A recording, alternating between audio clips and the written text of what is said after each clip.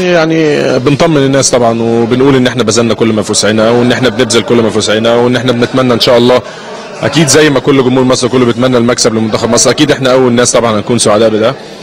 بدأ بدأنا المعسكر والحمد لله اللعيبة كلها مركزة وإحنا كجهاز كلنا مركزين. عايزين نعمل حاجة كويسة. عايزين نستعيد تاني أمجاد ال... ال... عايزين نستعيد الامجاد تاني للكره المصريه الكره المصرية في أفريقيا. اتمنى إن شاء الله بإذن الله ربنا يوفقنا. بنسعى وبنجتهد. توفيق من عند المولى عز وجل. وبنشكر الناس كلها اللي مساندة المنتخب الفترة الأخيرة. محتاجة تركيز طبعا محتاجة ثقة في النفس محتاجة تأكد وكل لعيب نازل الملعب بيتأكد إن هو بيلعب باسم منتخب كبير باسم منتخب مصر.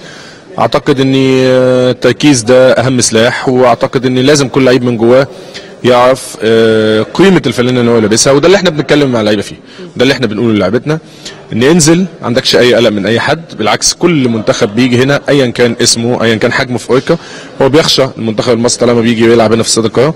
فده اللي إحنا بنسعى ليه مع لعيبتنا ونتمنى إن شاء الله ان هم يكونوا قد المسؤولية. عندنا طبعا حسام غالي موجود عندنا أحمد فتحي موجود عندنا عماد متعب كمان انضم دلوقتي موجود. في طبعا لعيبة ولكن خلي بالك اختلاف الأجيال لأن برضه أنت لما كنت بتتكلم أنا لما كنت كابتن لمنتخب مصر كان معايا مجموعة آه، من كل حتة في الدنيا. آه، مجموعة خدت خبرات كبيرة مجموعة حققت بطولات مجموعة كلهم كانوا نجوم.